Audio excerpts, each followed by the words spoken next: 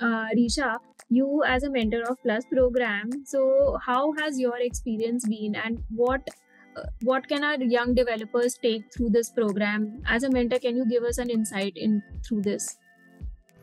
So uh, the Pesto program, uh, the Plus program specifically, is uh, yeah, is first of all it's amazing. It's uh, uh, the prime means the primary uh, developer is Aftab.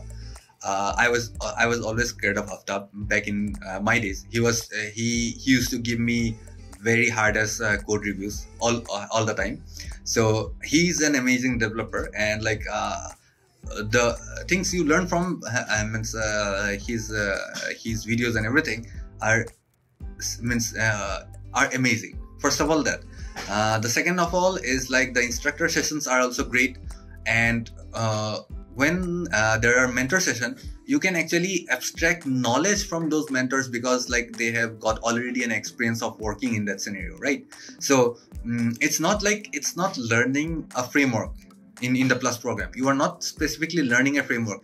You are gaining attraction on that framework because you already have someone uh, guiding you through that experience right? So in most of the in most of the other means other programs i see people actually learning them. Uh, in plus program you actually means you not only learn the uh, framework but you actually gain the experience that your mentors and instructors are giving you. So that's what i am means i would like to suggest my like uh, upcoming uh, upcoming uh, means batches to actually take in mind that you can actually gain that experience all those experience that uh, like uh, mentors and instructors are giving you. It's not just uh, learning a framework.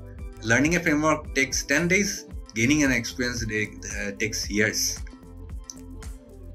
Also uh, through the plus program uh, like what what what is that um, after completing the plus program what would be their experience into full stack development? How are they taking everything what i want to know is at the end of the program how have they mm-hmm. upskilled themselves so first of all uh, means uh, first of all we start the uh, budding of uh, we start the molding of the developers from the week one okay so whatever uh, whatever external uh, whatever extra that is needed whatever extra like knowledge that or experience that is needed or whatever extra like means issues that they can uh, uh, find when they actually graduate in the in six months we all we all we already started from the week one. After six months they are means they are uh, they are not only just uh, coming out of a program but they have that experience they have that knowledge to actually means uh, to actually uh, build what i'm saying is build a project from zero to 100 single-handedly.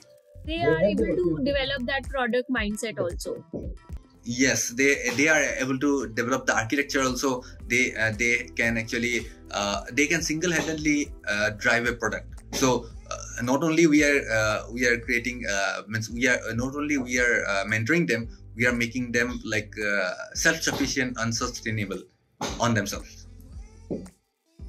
so their journey becomes complete from the six months of training and obviously yeah. they are more competent to go into startups and uh, work on product in work work, work in product based companies because they already yeah. have that live coding experience also yes exactly they have live coding experience also they have live project building experience also and uh, most important uh, most most importantly they have got that uh, mindset to actually architecture a product it's not development uh, that uh, means many companies need.